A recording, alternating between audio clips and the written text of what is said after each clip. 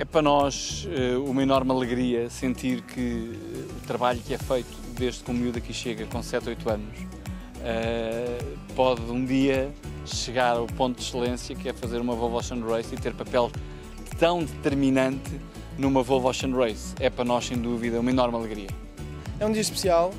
é bom ser reconhecido pelo meu clube, foi onde eu aprendi a andar à vela, foi onde eu cresci como pessoa e como velejador e é bom ser reconhecido o meu trabalho, o meu e o do Federico, sermos homenageados pelo clube hoje, tem sempre um sentimento especial.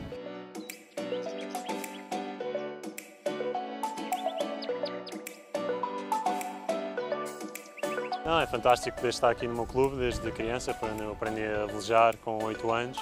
Isso é sempre bom ter aqui estes eventos, é bom reconhecer a Fundação Mirpuri e nós temos participado nesta, nesta edição, por isso é bom estar aqui com a minha família e amigos.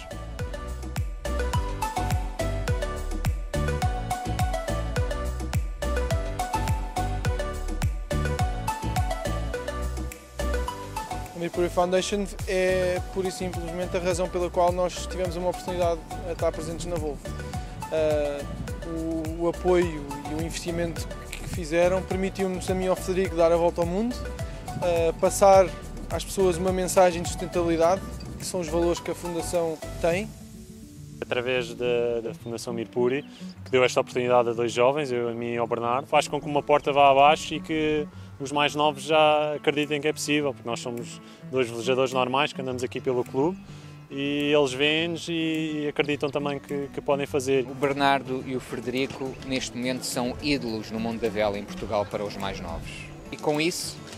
inspiram as gerações mais novas de que tudo é possível e isso arrasta mais jovens para o desporto. Portanto, há mais jovens a entrar no desporto, mas há também mais jovens que se mantêm a praticar o desporto e não, não, não, não tem que pensar que ah, isto é só uma competição que só os estrangeiros é que conseguem. Não, temos o exemplo em Portugal de vários portugueses, e neste caso o Bernardo, o Frederico, mas o António também, que atingiram o topo da carreira uh, com uma idade ainda relativamente jovem, ambos na casa dos 30 anos, e, e, e julgamos que isso será uma inspiração seguramente para as gerações mais novas.